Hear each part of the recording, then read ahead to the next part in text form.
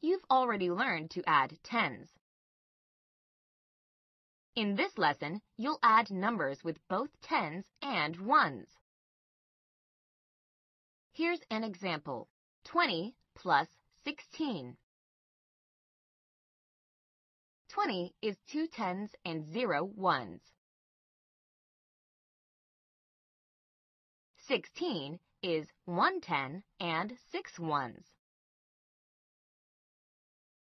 First, we add the ones. Six ones and zero ones is six. So we put six in the ones place in the answer. Next, we add the tens. 20 plus 10 is 30. 30 is three tens. So we put 3 in the tens place in the answer. So 20 plus 16 is 36.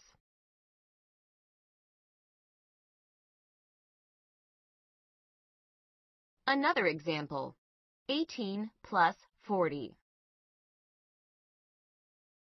18 is one ten and 8 ones. 40 is 4 tens and 0 ones. 8 ones and 0 ones is eight. So we put eight in the ones place. Next, we add the tens. 40 plus 10 is 50. 50 is five tens.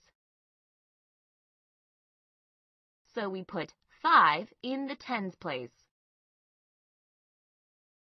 So 40 plus 18 is 58. In each of these examples, we added the ones first. Then we added the tens. We can do the same thing without separating them into tens and ones, like this.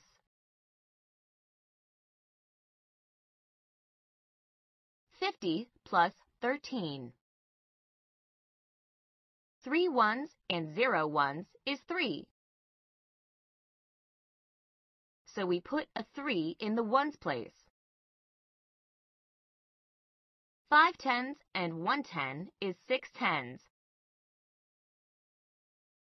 So we put a 6 in the tens place. The answer is 63. In the rest of this lesson, you'll add numbers like these.